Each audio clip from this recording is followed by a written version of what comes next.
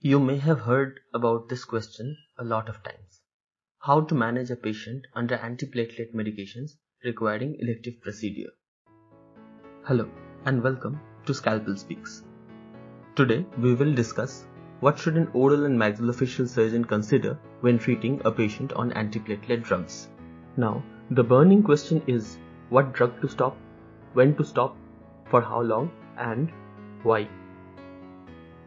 Now, there are many schools of thought, even conflicting protocols.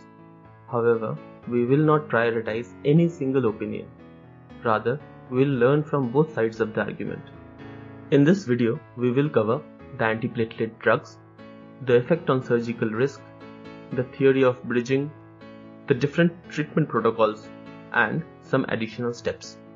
Now, the most important thing to understand is that antiplatelet and anticoagulants are not the same. Anticoagulants modify the coagulation process or the coagulation cascade. These are warfarin, heparin, etc. Discussion of these drugs are beyond the scope of this video and we will cover that in a later episode. Antiplatelet drugs such as aspirin, clopidogrel, etc. inhibit platelet aggregation. Now, the biggest concern is the bleeding risk in patients taking these drugs and the thrombotic risk if the drug is stopped.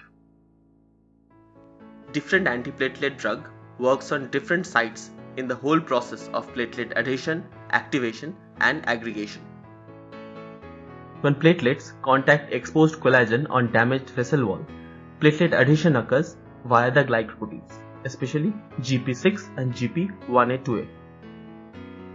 Now, the adhered platelets get activated and degranulates, releasing various factors that binds more platelet together causing platelet aggregation, which will finally form the platelet plug causing primary hemostasis. When we order the bleeding time test, it denotes the time taken for this to happen. One such released factor is thromboxane A2. It is synthesized by membrane phospholipids and binds to neighboring platelets, activating them.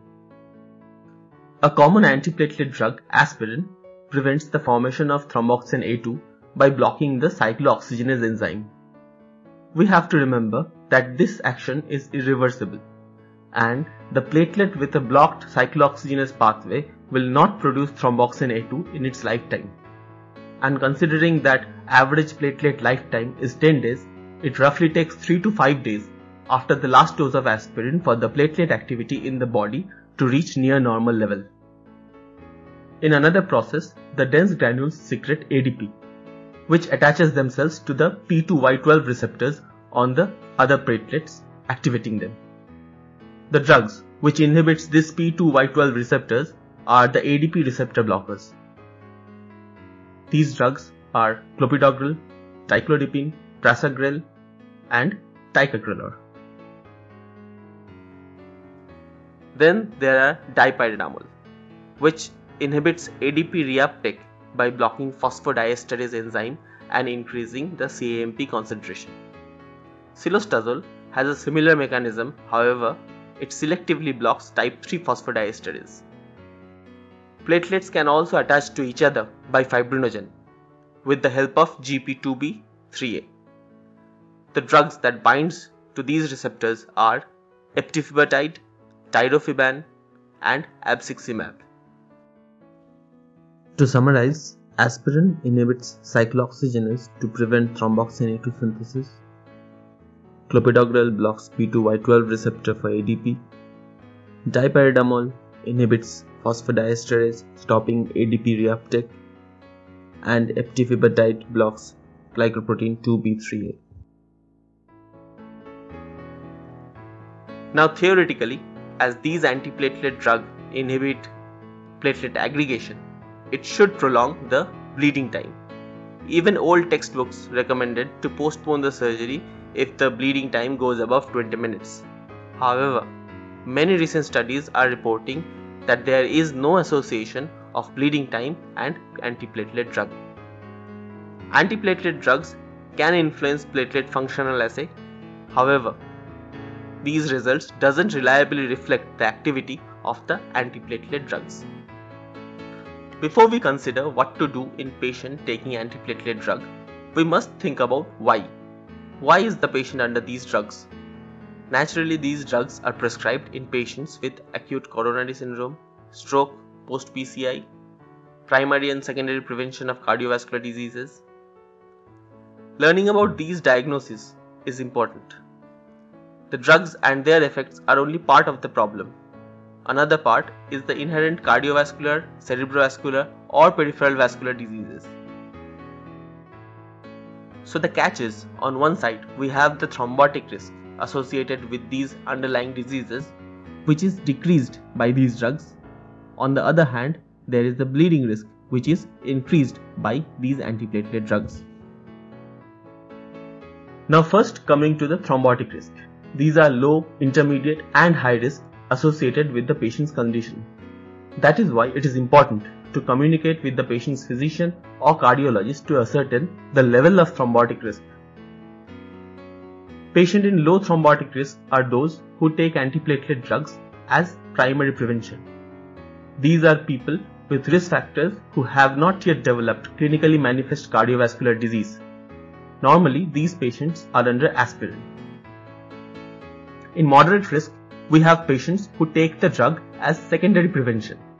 These are patients who have established CHD, cerebrovascular disease or peripheral vascular diseases. These patients may be under aspirin or clopidogrel, rarely both.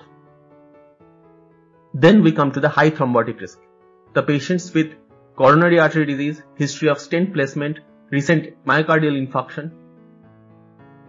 The patients with bare metal stents placed within one month have a higher thrombotic risk. This window is 12 months in case of drug-eluting stents. There are other factors that contribute to the thrombotic risks like renal disease, diabetes, etc. Then comes the bleeding risk. This depends on the type of surgery. However, local hemostatic measures should be implemented regardless of the bleeding risk. Also, deferring the surgery should be considered. We will discuss the bleeding risk associated with oral and maxillofacial surgery along with the various protocols. But before that, let's discuss the different management strategies. First is doing nothing or continuing the drug. This is most usually used in low bleeding risk surgeries. Next, we might think of discontinuation. Aspirin is not usually discontinued, but in certain high risk surgeries like intracranial neurosurgeries, aspirin can be stopped for 3 to 5 days prior to surgery. Other drugs if planned for discontinuation. Clopidogrel and ticagrelor should be stopped 5 days prior and prasugrel for 7 days. In dual antiplatelets, sometimes clopidogrel is stopped 5 days before and aspirin continued. Then comes the controversy of bridging. Bridging is a protocol commonly associated with anticoagulants. In case of antiplatelets, the benefit of bridging is somewhat unclear, with some studies showing positive outcome whereas other studies don't. Some protocols implementing bridging in case of patients under clopidogrel in certain situations, the clopidogrel can be stopped 5 days prior and aspirin to be administered instead. Some instances recommend using intravenous PA inhibitors instead of dual antiplatelets. Now let's discuss the protocols. Mainly, we have American, French and Spanish protocols. The guideline for oral maxillofacial surgery was designed according to the American one. Now there are numerous other guidelines, conflicting protocols and a constant upgradation of the existing theories.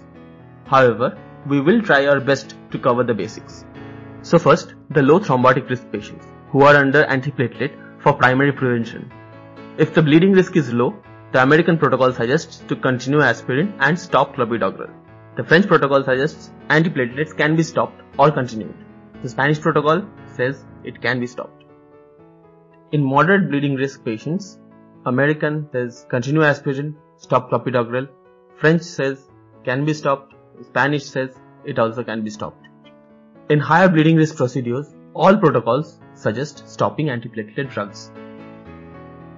In moderate thrombotic risk patients, these patients are under aspirin or clopidogrel monotherapy for secondary prevention. In low bleeding risk, American protocol suggests to continue aspirin and stopping clopidogrel.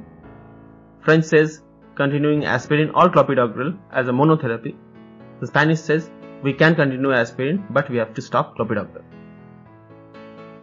In moderate bleeding risk, the Americans suggest continuing aspirin and stopping clopidogrel and to defer the surgery if possible. The French protocol says we can continue aspirin and if the patient is on clopidogrel monotherapy, we can stop that and bridge with aspirin. And the Spanish protocol suggests to stopping clopidogrel and continuing aspirin. In high bleeding risk patients, the Americans suggest to continuing aspirin, stopping clopidogrel and deferring the surgery if possible. The French says to stop clopidogrel and aspirin. The Spanish says to stop clopidogrel but continue aspirin unless it's an intracranial neurosurgery. In high thrombotic risk patients, considerations should be made to postpone the surgery, but in low bleeding risk patients, the Americans suggest to continue aspirin or clopidogrel or dual antiplatelet. The French and Spanish also suggest the same. In moderate bleeding risk, Americans suggest to continue aspirin, stopping clopidogrel and considering to bridge it with aspirin. The French protocol suggests to continue aspirin and if the patient is on dual antiplatelet, we can stop clopidogrel and continue aspirin. In Spanish protocol, they say to stop the clopidogrel but to continue the aspirin. In high bleeding risk patients, the American says to continue aspirin, stop clopidogrel and consider bridging.